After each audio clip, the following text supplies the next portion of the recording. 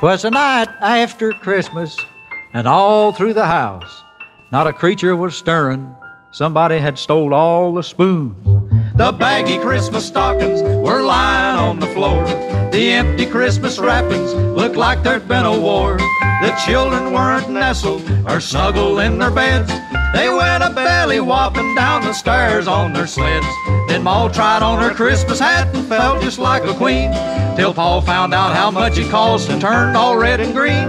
The Christmas tree was lit up, and so was Uncle Si. He thought he was a reindeer and insisted he could fly. He hollered out, Hey Blitzen, why don't you wait for me? Then landed right smack in the middle of the Christmas tree.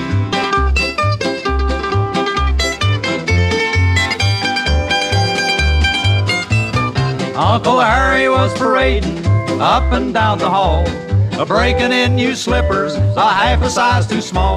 My sister and her boyfriend were fighting toe to toe. She caught him a kissing someone else beneath the mistletoe. Then Dad got out his squirrel gun, the one he got from Paul. Now he was only cleaning it, but blasted down the wall. The baby started crying, and Ma said, Can't you see? Christmas comes but once a year, and that's enough for me.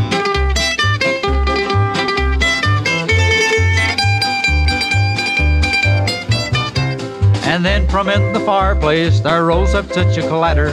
We ran into the parlor to see what was the matter. The chimney was shaking, the soot fell all about.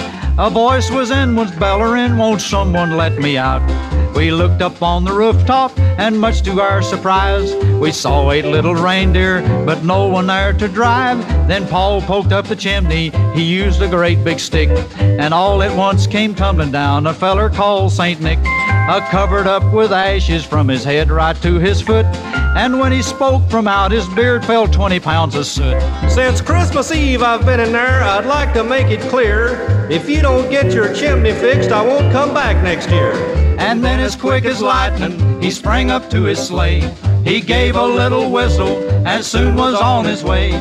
But I could hear him hollering as he drove out of sight. A Merry Christmas to you all and to you all. Good night.